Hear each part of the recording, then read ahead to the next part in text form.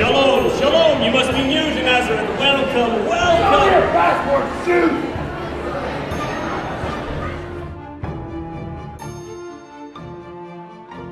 I see here, Gadiel, that you are the family of David. It is Caesar's decree that all must return to their own city to register for a census and pay a tax. You and your family will leave at once for Bethlehem. You and your family may go, but beware. There are beggars and thieves along the byway. Barabbas is still at large. Greetings and peace, friends. I am Casper. My companions are Melchior and Balthazar.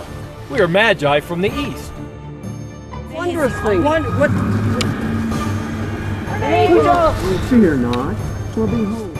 Hold your tongue! I will not warn you again! Throw him in prison.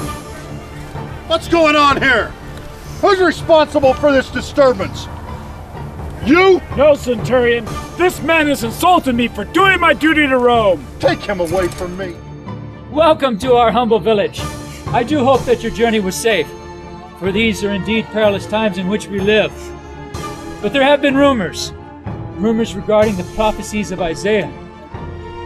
But for now, allow your family to look about the village, shop, warm yourselves by our fire, partake of all that Bethlehem, the city of David, has to offer. Samuel, do we have room for another family? A very large family. Anna, you know I'm trying to finish up my taxes. No! There's no room at the inn. But but we've come such a long way. We've no place to stay. We have no room. Joseph, is that you? Danielle, so long. Shalom.